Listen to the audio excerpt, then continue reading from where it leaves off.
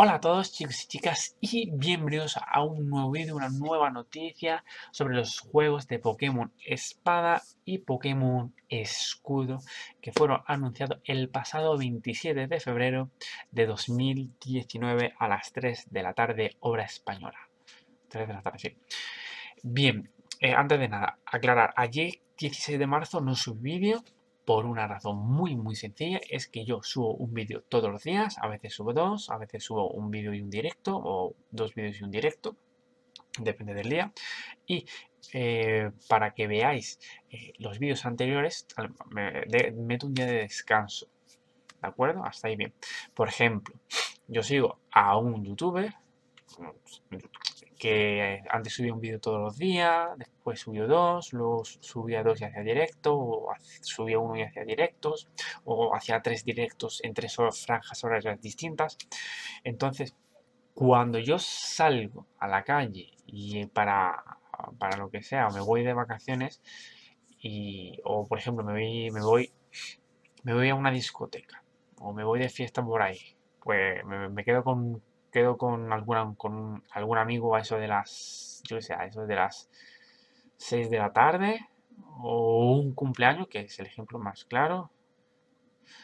Entonces se me acumulan esos dos vídeos.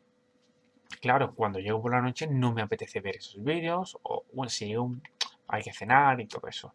Luego por la mañana hay cosas que hacer, entonces a la hora de la comida no, eh, lo veo sobre las 4 por ahí pero para entonces ya he subido el tercer vídeo. Entonces tengo que verme. Y a veces ese tercer, ese, ese vídeo está, eh, eh, tiene referencias o trata el mismo tema que los anteriores, como hilando. Por ejemplo, pasó mucho con el tema de la caída de PlayStation Network, PlayStation 4, PlayStation 4, eh, las caídas, los mensajes maliciosos que te fastidiaban la consola, los baneos a la gente que usaba códigos ilegales de, de, y de, empresas de Play, o sea, y de empresas como EA, el baneo a Kike por llamarse Enrique y ponerse como nombre de usuario Kike, que es un insulto a los judíos ingleses.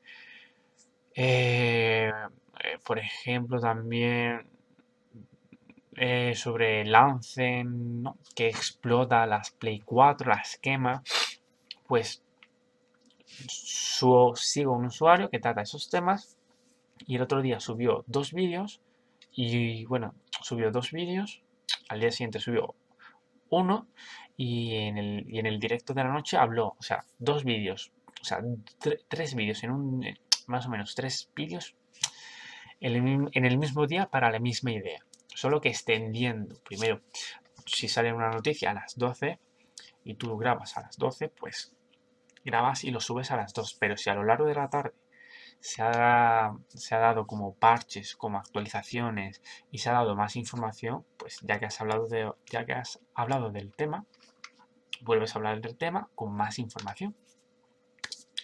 Bien, Nintendo y Game Freak registran Armored Mewtwo despertando rumores sobre un Pokémon espada y escudo. Sobre, no, sobre Pokémon espada y escudo, sí.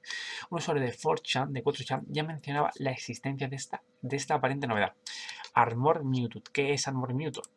Armored Mewtwo es esto. Es eh, la primera película de Pokémon, en la de 1998, 1999. Eh, Mm, eh, Mewtwo usaba una armadura, como podéis ver, para potenciar sus poderes psíquicos. Luego, en, creo que era en la guerra de Kalos, en un episodio, creo que en una película o algo así, o, no me lo estoy inventando, en la guerra de Kalos, es que creo que es una película, porque se veía como, no sé si era Kalos, era, no sé, eh, se veía Pokémon con armaduras peleando. También eh, estaba lo de la guerra de Kalos, que si los Pokémon llevaban protecciones y escudos y armaduras, pues algo así. A lo mejor meten Pokémon con armadura, por ejemplo meten a un Charizard con armadura, un Blastoise con armadura, protegiendo lo que es el caparazón, al Charizard le protegen el cuello, eh, las extremidades, y le ponen una armadura con cuchillas de metal. Vamos a seguir leyendo. Venga. Habitualmente, cuando leemos rumores de 4 lo primero que se nos viene a la cabeza son sospechas. Sin embargo, la serie Pokémon eh, se ha enfrentado a varias de estas supuestas filtraciones que terminaron siendo reales. Un momento que quite el ratón. Ya no molesta y no aparece nada, pero es Pokémon. Pokémon Espada y Pokémon Escudo lo podemos poner aquí en la cabeza de, de Lucario. Yo creo que queda bien. No puedo mover ratón porque se pierde. Eh, eh. Vale, eh, filtraciones que siendo reales y en estos momentos podríamos encontrarnos ante una filtración vinculada a Pokémon Espada, Pokémon Escudo, que ha ido ganando veracidad poco a poco. ¿Y qué es? Pues lo que os, lo que os he mencionado antes. Sigamos. A ver, son tres párrafos. Ah, se lee rápido. A ver, dejadme que sea cierto. Vale. Un momento, por favor. Vale, perfecto. Ya. Este rumor... Eh, a ver. Ahí, perfecto, perfecto, perfecto. Este rumor predijo con éxito... Eh, los nombres de los nuevos juegos para Nintendo Switch, así como la localización en la que se ambienta Galar, Gran Bretaña, no Inglaterra, Gran Bretaña. No sé la diferencia, pero bueno. También indicaba que tendríamos algunos Pokémon con armadura, incluyendo Mewtwo, Charizard, Flygon o Zeraora. Y que los legendarios, eh, que los legendarios. Aquí, los legendarios temáticos sería una serpiente metálica. Supongo que será Pokémon. Es que la espada es metal. y claro, ninguna a ver, eh, una serpiente metálica y un caballo de madera. Además, Melta, Melta y el metal guardarían algún tipo de relación con los Pokémon. Perdón. Además, Melta, Mel, Melta, no es Meltan y Melmetal, guardaría algún tipo de relación con los Pokémon legendarios y las armaduras. No es posible verificar todo esto, pero un registro reciente de Nintendo Game Freak y Criaturas Incorporation o lo que sea.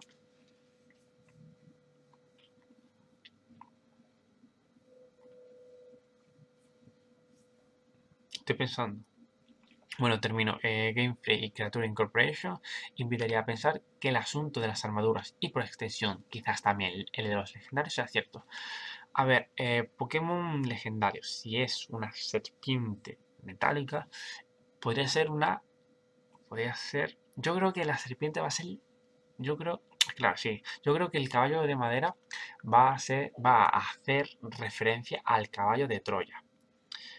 Si no sabes lo que es, pues era una guerra entre, entre dos, no me acuerdo ahora.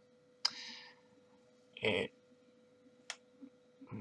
esperad, busco. Caballo de Troya. Eh, era una guerra que llevaba. que era porque. Eh, habían secuestrado una princesa de, un reino, entonces eh, la, de, el del reino quería recuperarla y fueron 10 años de, asedio. Entonces los troyanos eran los troyanos, ¿no? aunque ahora sea como virus, los troyanos eh, dejaron, hicieron un caballo de madera como regalo para, eh, eh, eh, ver, para el, enemigo, donde guardaría, donde tendría digamos una puerta y se meterían ahí los guerreros para cuando se metieran, cuando tiraran del caballo de madera y lo dejaran dentro, por la noche saldrían y recuperarían a la princesa. Sí, aquí lo dice, el caballo de Troya fue un artilugio con forma de enorme caballo de madera, enorme caballo de madera, caballo de madera. Aquí lo pone, caballo de madera, ¿vale? Caballo de madera. Eh, que se menciona en la historia de la guerra de Troya y según este relato fue usado por los griegos como una estrategia para introducirse en la ciudad fortificada de Troya. Lo he contado mal.